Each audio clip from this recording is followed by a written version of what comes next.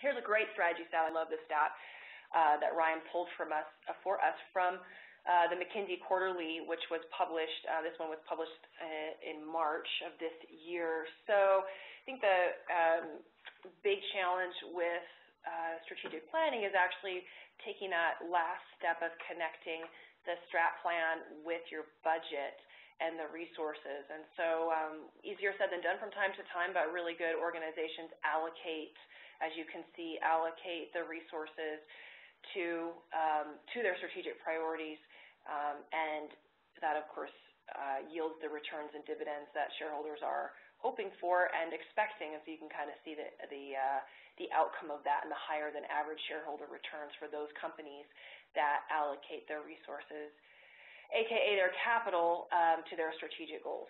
And so um, that continues to be, I know that continues to be a challenge. So there's your, there's another data point for why that's so important to go through that component of the process.